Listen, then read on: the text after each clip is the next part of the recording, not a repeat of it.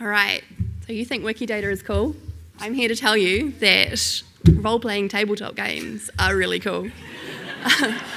um, I'm Hannah, I'm the cartoon librarian at the Turnbull, which leads me to be really interested in cartoons and comics and geek culture and how we capture that within uh, collecting institutions, which is kind of tangentially how I come to be here today telling you about oral history of Dungeons and Dragons in New Zealand. And I'm Chantalle. Um, by day, I'm a librarian at the Alexander Turnbull Library, but by night, I call myself a gamer girl. I play all games um, board games, card, ta- uh, card, tabletop, and video games. But also, I'm really fascinated by researching the history of the everyday person, um, and that's why I'm really excited about our project. So, I'm going to talk to you about the history of the project and what actually made us sort of think about it. Um, so for me, I find it fun thinking about how future generations will look back at our lives of people today and what aspects of it they will study. Because I surely don't think they would have thought about what we're studying back of the 1900s. But there are multiple ways of researching this. However, Hannah and I both know the importance oral histories play when it comes to understanding social aspects of lives. We thought about our own lives and saw a gap in trying to understand why people play games. To interview people who play any game would be too hard and might not be useful, as you may not find any themes.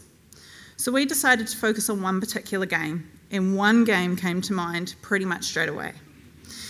There are a couple of reasons we chose Dungeons and Dragons, or D&D for short. First, even though the game is over 40 years old, we both knew a lot of people of various ages in our lives who still play it.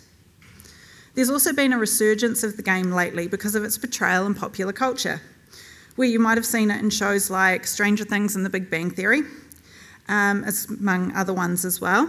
But there are also podcasts now and online series being created which actually feature the game. For example, Critical Role, the spin offs Waterdeep Mountain High, and the Grognard Files. Neither Hannah or myself had actually played D&D before at this stage, so we asked an experienced player to lead a campaign for us with a group of our colleagues, who some are in this audience today. So we could get a better understanding of how to play it and all the terms that came uh, that come with playing it, and boy, do we understand it now. But it was fun. It was really fun. At the same time, we were researching the history of the game. We used lots of online resources. There were even books in the National Library collection on it and we used our local public libraries, and we spoke with lots of people who actually know about the game um, to give us that history. And this really did give us a better understanding of the popularity and the controversies that have come with playing the game. All right, so we've currently we've finished a pilot of three interviews with a few more lined up for the end of the year. Um, I was going to exaggerate that number, but Chantalle's a very honest person. Uh, so, Lindy, the, um, Linda Evans at ATL suggested starting with the pilot uh, when she saw how gung ho we were to get started with interviews. Um, it's been really useful taking a bit of pressure off us and allowing us to tweak the questions and the focus of the interviews as we've gone along. The interviews have also so far provided so many interesting insights that I'm really convinced of the value of the project. Uh, so, some of the kind of learnings so far uh, while we were focused on D&D for about the first week, we soon became obvious that um, RPGs can't be understood in isolation.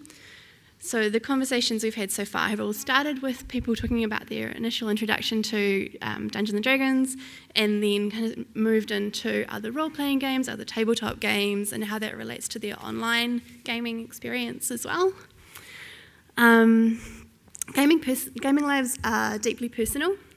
So, going into an oral history project, you're aware that you're asking people to talk about their lives.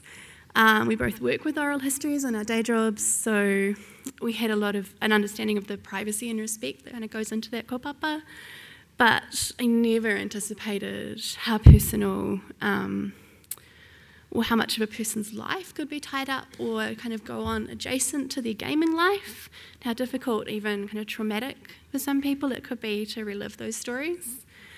Um, players kind of geek out about the stuff as much as we do, which is really, which is really awesome, and there's been infinite goodwill for this kind of a project in the community.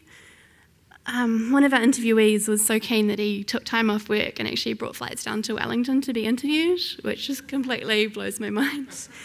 Um, the player's passion for, for games histories can be a bit of a blessing and a curse. Um, spent a lot of time in the interviews kind of guiding that conversation away from like a potted history of, of Dungeons and Dragons, everything that's ever happened in the last 40 years, to actually talking about your personal story and encouraging people that that's, that's really where the value is for us. Um, went into this project committed to diversity and expecting that gender was going to be the issue. Got lots of, like, it's a really common question. Have you found any women to talk to yet? Um, but the reality is that actually gender's only one part of diversity and it hasn't really been the main issue. So lots of women have come forward and gender diverse people, and we're really thrilled about that. But um, there's a certain privilege that comes along with these kind of games, and particularly, I understand in New Zealand it's quite strong, it's sort of a university crowd, so trying to break away from that is something we want to focus on in interviews going forward.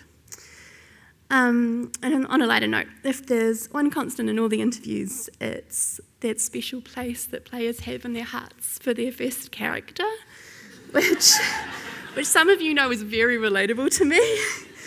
we won't talk about the tattoo, but um, I think it also it speaks to the depth of meaning of role playing in gamers' lives.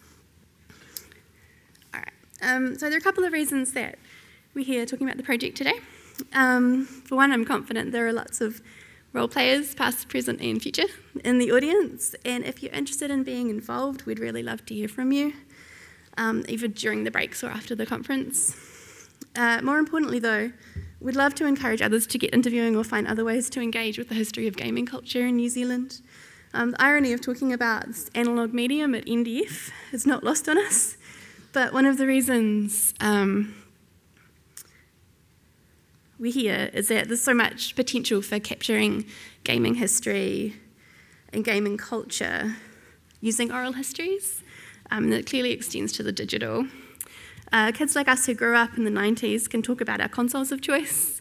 Uh, likewise, you know, MMOs like World of Warcraft, really huge, often undocumented part of, or undiscussed part of people's lives.